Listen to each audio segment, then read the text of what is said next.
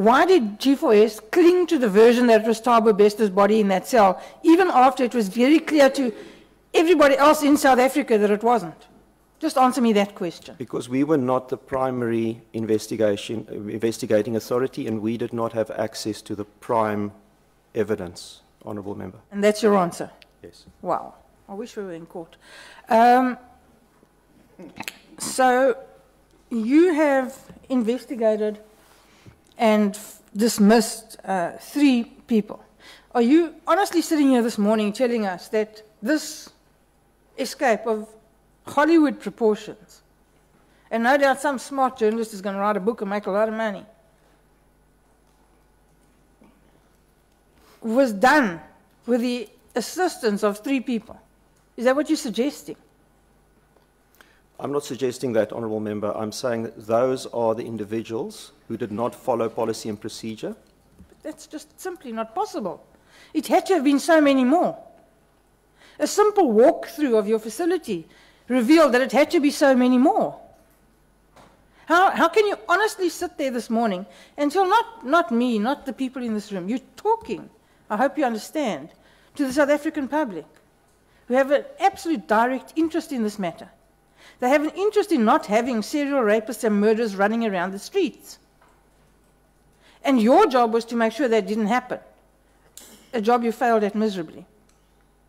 Do you honestly want to tell people that you think, or that you're satisfied, or that the ambit of your investigation was satisfied after three people were suspended and fired?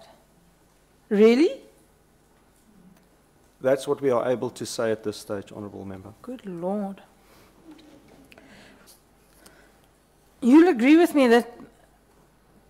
Just tell me, how would, how would uh, this propellant, this, this petrol, let's assume it was petrol, have gotten into the cell? Honourable Member, we, we don't know. You don't know. We, de- we detected that and we alerted the police to that. And where would the matches, the lighter, the whatever it is that sets the light come from?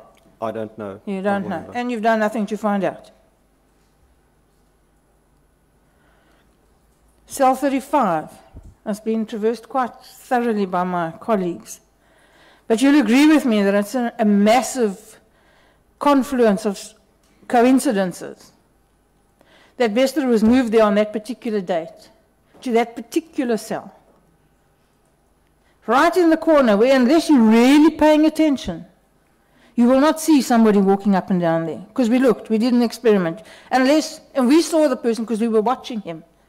If the controller is not paying 100% attention, maybe blowing her nose or whatever, we wouldn't have seen it. Because it's the only cell that's so far away that you can't see. And not to put too fine a point on it, and no pun intended, it's right next to the fire escape. Can you tell me that that's a coincidence? Are you suggesting that that's a coincidence? I have no information, Honourable Member, other than to, to regard that as a coincidence. Yeah.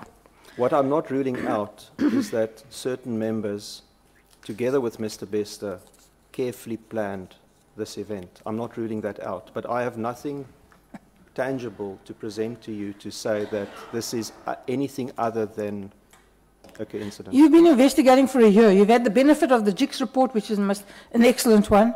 You've had the benefit of your interaction with DCS. You've had the benefit of the interaction with the South African police.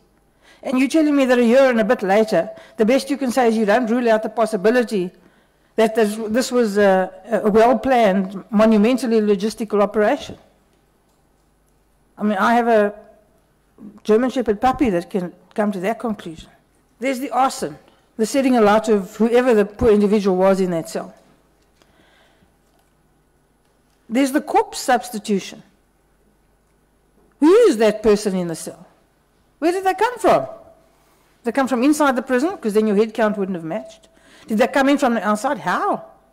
Did they walk in? Were they murdered in the prison? Did they come in dead? You can't answer any of these questions. We, we don't know. On, You uh, don't know. A year and a bit later, you don't know. We have provided all information pertaining to the movement of our personnel that evening to the SAPs, and it's for them to investigate I see. based on our information. You have no responsibilities. I'm not saying we have no responsibilities. I'm Well, saying that we have investigated this matter so. to the extent possible. You appear to be saying you have no responsibilities. You've done what you could. Given bits of paper to other people and that's it. Wash your hands. Not at all. Well, that's the impression you create. And I want to tell you it's not good enough. It's impossible to believe that this whole operation could have taken place without uh, the greasing of many palms. Where would that money have come from? Whose palms were greased? Which of your officials are living above their means? You don't know because you don't do lifestyle audits. No, we don't. You don't think you should. We need to take that recommendation to heart, Honourable Member. Just days prior to this incident, a vehicle made an unauthorized entry into the prison facility, correct? That's correct. So the vehicle came in, it was uh, bringing in a, what, a, a kist, a box, a quasi coffin. You agree with me? I presume your investigation has at least revealed that. Yes, it was a TV stand cabinet that came in. A. TV stand cabinet, okay. And where did that TV stand cabinet go to? It went into the skills development area, um, and according to the people that currently being in, investigated, this stand was bring in by uh, the supervisor that um, is currently suspended, ach, not suspended, being dismissed, and um, that that came in for rectification purposes. a large wooden box comes into the prison in contravention of all the protocols for repair and doesn't get repaired. Didn't bother anyone? I cannot answer on that at this stage. As I said, um, I will be able to answer that when the investigation has been finalized. I see. Could a corpse have fitted into that uh, TV stand?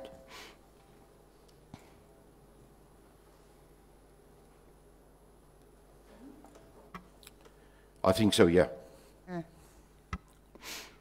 And it wasn't searched. It wasn't inspected.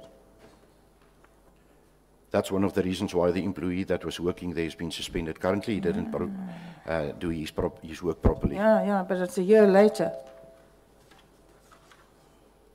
A bit sad, that. So your sally port's got all these fancy mirrors and lights and cameras and whatever. Nobody, nobody noticed on any of the cameras that the thing had come in and wasn't uh, inspected? Honourable Member, um, once again, uh, the investigation is currently pending, uh, but the people that's working in the CCR room that had to monitor this is also currently being suspended because they did not report it. So the list of those whose palms were greased is getting longer. It's not just three people. We're standing now around 10, is that right? We're currently there, but remember, we're currently still busy with the investigation I've and got no doubt the numbers it, it will may, increase. It may be that from the seven, uh, some of them uh, can come back to work because you, you suspend um, to ensure that you can conduct, a proper investigation without interference of people. This happened a year ago, over a year ago. And now, all of a sudden, these last six weeks, there's this big flurry of investigations. This can't be news to you. G4S could not have lived in blissful ignorance of all these systemic failures until February this year. I just, I, could, I don't believe you. Or is that what you're telling me? That you operated in blissful ignorance, failure after failure after failure, as long as you've handed over your forms to everybody and, and you've washed your hands off this matter, everything's just fine. I cannot agree. Um, we, we run a very good prison. We've, we've run a very good facility uh, with security um, over the years. Our track record uh, explains for itself. Um, this unfortunate incident um, is a result of non-reporting. And because it was not reported and misused, we're currently investigating and taking actions uh, to get um, this right and to sort it out. Thank you. So you say you have no record of uh, Bester being visited on the 16th? The record that was presented to me in in investigation on our um, information, inmate information system doesn't provide a record that he was visited on the 16th. Is it possible that the system is incorrect? I cannot, I cannot guess on that. I see. Well, bearing in mind that the system's being incorrect on so many other things, I suppose it could be. Uh, oh, is it possible to get uh, a visit that's not recorded?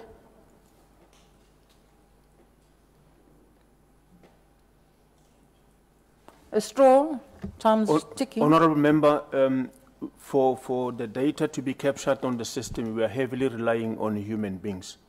Therefore, there is also a possibility that if that visit happened, we were relying on our employees to capture that data. So if the visit happened and the data is not captured, um, it can't be a system problem. It should be a human being error or intentions not to capture that data. So now, the, assuming the body came in in the box and uh, now transferred to the cell, how would it get transferred to the cell un- unnoticed, undetected? Anybody?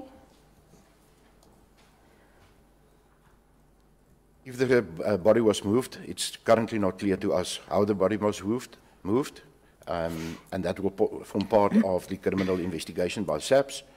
Um, as we indicated before, we did a proper investigation on all the policies and procedures that had to be followed.